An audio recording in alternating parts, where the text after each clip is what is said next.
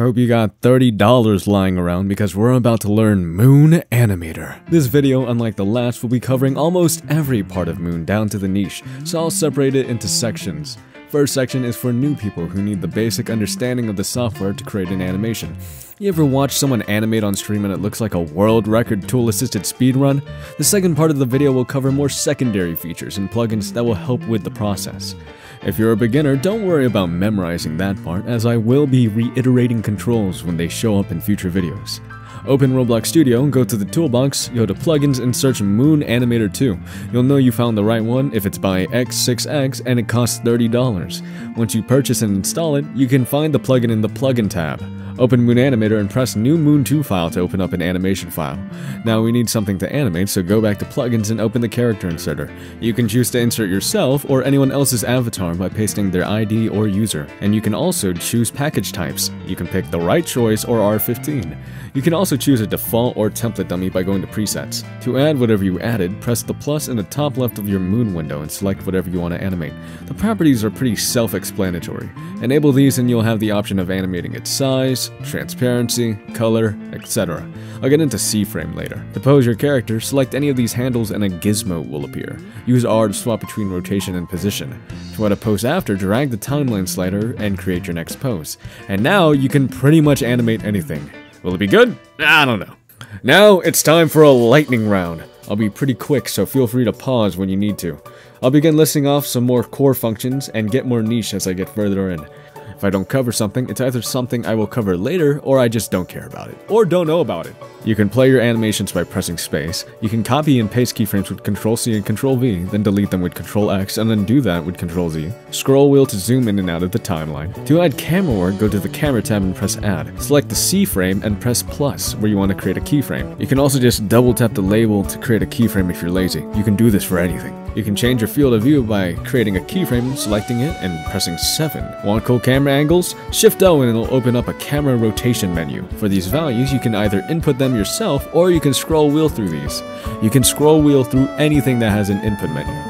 Want to play your animation without the camera to see how it looks? Control space to disable camera animation in FOV. You can also press Control H to hide the moon window. Don't like switching back and forth to remember what your last pose is? If you animate in 2D, Moon has its own version of onion skin, but it's manually activated. If you select your rig and press B, it'll create a transparent copy of that pose that you can use as reference. Animating a walk and you're on a supercomputer capable of perfectly mirroring your pose? Don't worry, you don't have to. Control R flips your entire animation, that way you can flip, copy the pose, flip again, and then paste it. When you paste into Moon, does it paste something else into the workspace instead of the pose you want to? This is a shitty bug, and the solution to it is to copy some text and you'll be able to paste like normal. Don't like how linear, straight, and boring your keyframe transitions are? Select the keyframe at the start of the transition and press 7, and you'll be put into the easing menu, where you can pick custom easing types and styles. There are four easing types. Ease in to accelerate from slow to fast, ease out to decelerate from fast to slow, ease in out to accelerate then decelerate,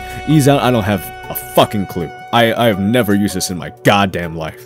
Now the easing styles mostly just affect how extreme this transition is. Back style gives anticipation and recoil by either winding back before your keyframe or overextending. None makes it so that there's no transition and it just snaps to the next pose. Bounce is weird. An elastic is like back if it was stupid. Is your name Doc7090 and you refuse to use easings, but you also don't like how straight linear is?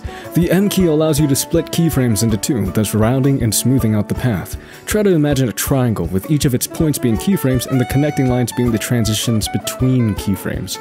If you were to cut the tip off, it would create two keyframes, and when repeated, it will eventually create a smooth, round edge.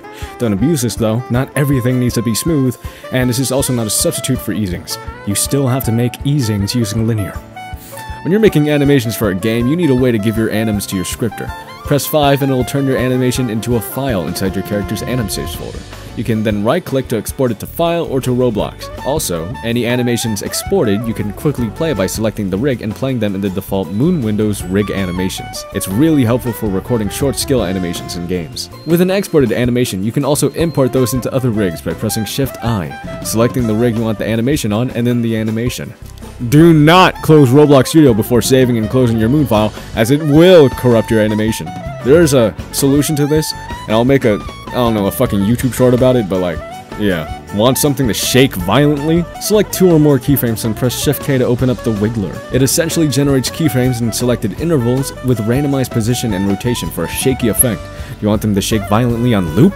You can either loop your entire anim by pressing the cycle button, or select what you want to loop and then press Shift L. Want them to experience violently shaking in slow motion? Select what you want to slow down or speed up, and press 3 to stretch your keyframes. Don't like how all of these turn your keyframes into a singular long keyframe? These are grouped keyframes that you can ungroup by selecting them and pressing Ctrl U to open up the ungroup menu, or Ctrl Shift U if you just want to ungroup them. The point of group keyframes is to make them less laggy or bulky when you have a lot of keyframes. If you want to group your keyframes, select them and press Ctrl G. Did you watch a video that said high FPS does not equal good animations, and now believe anything with high FPS is the spawn of Satan? Want to hop on that low frame rate Spider-Verse train?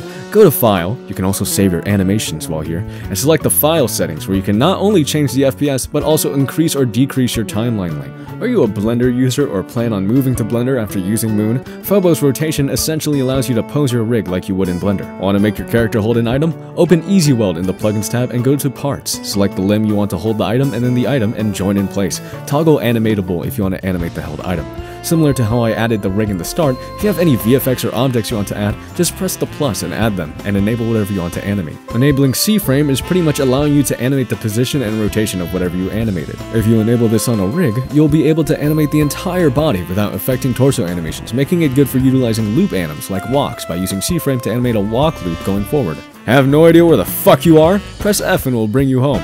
Don't like how your gizmo aligns with the limb? You can press Y to switch from local to global so that it stays upright regardless of limb orientation. Tired of sliding? Press J and K to snap between keyframes and 5 and 6 to move back and forth a frame. Want to change the color and theme of your moon because basic is boring? Go to theme and buy one of the presets. Use one of the free ones or a community one by going to the Discord, copying them, opening edit theme and options, and pasting it into import. Or even create your own custom theme here in the edit theme menu. Tired of playing aim labs when you're trying to animate?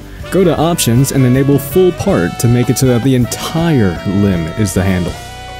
Everything else here is more for uh, bone rigs. I don't have any ideas for a closing statement, so uh, see ya in the next tutorial, I guess.